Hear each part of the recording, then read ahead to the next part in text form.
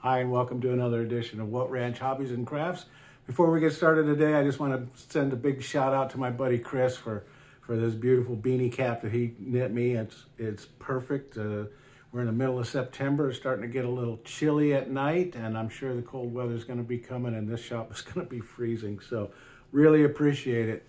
Another big shout out to my friend Shanny for providing us with today's project wood. This is inch and a half oak table from a restaurant somewhere. Um, and it's perfect for what I want to do today. I've been struggling with coming up with products that are not only beautiful and artistic, but are useful. It's nice to have these wood carved things on the wall or, or just have uh, ornamental pieces, but useful items are a little bit more practical. So today I'm going to try and walk you through the procedures to do a double-sided carve. I'm going to do the back of the bowl first, and we'll flip it over, we'll carve out the inside of the bowl, and try to hit it exactly in the center so when it comes out it's, it's nice and even. So uh, let's get started. I'll show you the bits that I'm using and the wood, and then we'll start carving. This is the oak inch and a half inch thick. It's a really tight, um, clear oak. It'll be good to practice on. I've got the size of my piece measured out. That's the extreme size. And then I find center and the bowl will come in the center here. I've got both sides marked. Hopefully I'm close enough with my measurements that this X is the same when I flip it over as that X and then the oval will be okay should be good. These are the tools that I'm using today. I don't really recommend that you get all your tools out at once, but for the purpose of this video, I'll do it. They inevitably get mixed up and then you got to sort them through. So I always just take one out, and then replace it, get out another one. Anyway, uh, I do have a big flattener, but because I want to keep it pretty tight on this, I'm not going to try to run the big flattener. Today, for this purpose, I'm going to use my two inch I mean my half inch mill and that'll go pretty quick. It's about an 18 minute clearance. Just gonna take off this layer of lacquer or whatever it is. So I'm just going down a, like a 16th of an inch or less. Then I'll come through and cut out the back of the bowl. And then I'm going to do a tapered edge to the bowl. So I'm using my uh, quarter inch uh, ball nose. And then finally for the detail, I'll use an eighth inch taper bit. For carving the ornamentation on this, this will be a gift, so I'm gonna have an extra ornamentation on it. And I'm using my wide uh, 60 degree V-bit.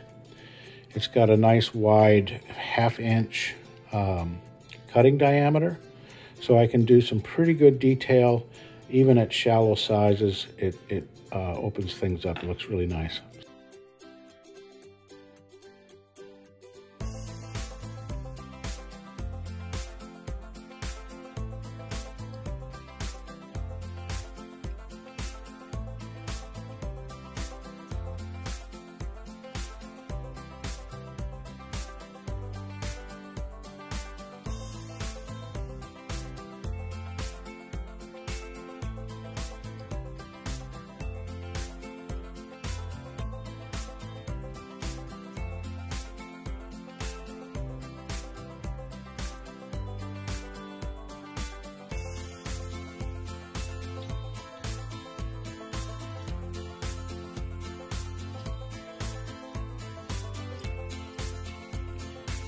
That's the backside done.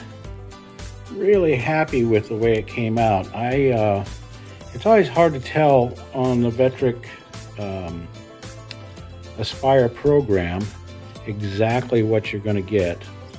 And remember, you always have two options. You can go for speed or you can go for really fine. And so it becomes a question of how much sanding do I want to do. The other thing is, when I laid this out, this ridge thing, the, the ridge plate on the back, looked really centered. But you can see right here, it's a little bit thin. This is a thicker piece right there. And here, And then it gets thin right there. It'll be fine. It'll be fine.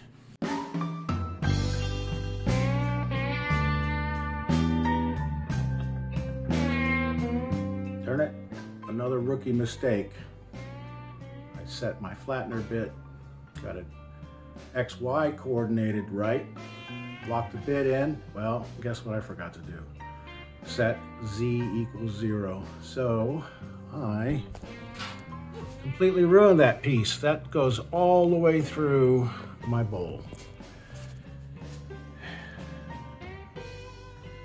You know, you're gonna wreck wood with this. It's just the way it goes. I can't be upset with it. Just remember, be very careful to go through your all your checklists to make sure that everything is just right. I have uh, enough wood that I was able to go ahead and run another run of it. So we're gonna try again. I promise I'll get closer this time. Well, this is where it gets heartbreaking. When I did my engraving for my gift name, we shot right through it again. Heartbreak. This is such a learning curve. I've got enough room that I can go right here and try it one more time.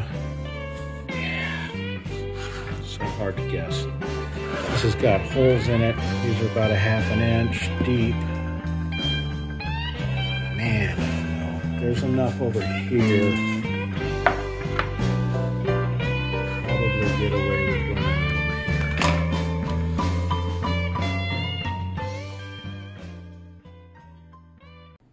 here. Third time's the charm. That's perfect. That's a nice bowl. Now, look at this. All of that, all, of that oak for one bowl. It's a real pity. After my first screw up, that's bad. I put paper over this because this is a gift and I don't want to give away who it's for. Uh, the second one cut out okay, but remember the uh, bottom etching showed through. So now we have this bowl and cut out nicely. It's got a nice back to it. I think it's really, really nice. Now, the thing is, on this whole piece of oak, there was one, one knot that I was trying to avoid. So, this knot wanted to be a part of this gift. So, it's all right. I can sand this down and I'll put some nice finish on it and it'll just be part of the feature. There it is, bowl cutting 101. now that I've gone through it three times, I'm much more comfortable with it. And just to let you know, I was able to eke one more bowl out of it. So out of that oak, I got uh, a total of three good pieces. And I'm really happy with the way they came out. That's just beautiful. And now that I've got the file the way I like it, we can start doing some production. Happy to get going. Stay tuned for another episode of What Ranch Hobbies and Crafts. Thanks for watching.